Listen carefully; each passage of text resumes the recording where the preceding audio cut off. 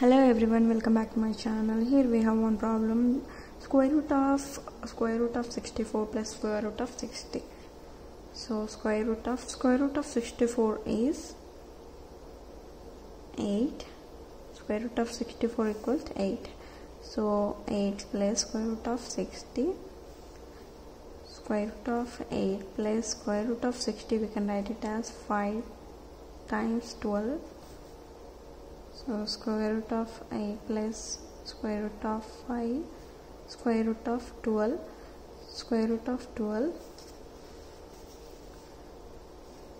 8 plus square root of 5 square root of 12 we can write it as 4 times 3 square root of 8 plus square root of 5 square root of 4 square root of 3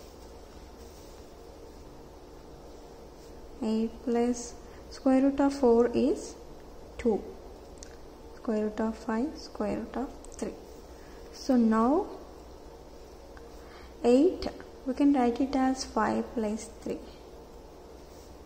so if we add these two numbers we'll get 8 5 plus 3 so plus 2 square root of 5 times square root of 3 so this is the form of a square plus b square plus 2ab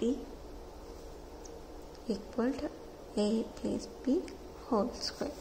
So let a equal to root 5, b equal to root 3. a square equal 5, b square equal 3. So I'm writing like this.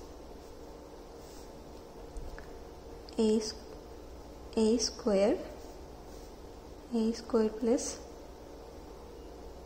b square plus 2 ab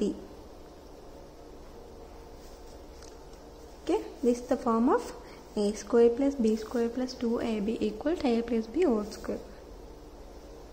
So a plus b whole square.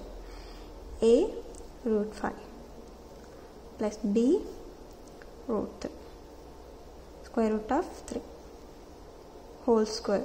Square square get cancelled equals square root of 5 plus square root of 3 is the answer is the answer. Square root of 5 plus square root of 3 this is the answer. Thank you for watching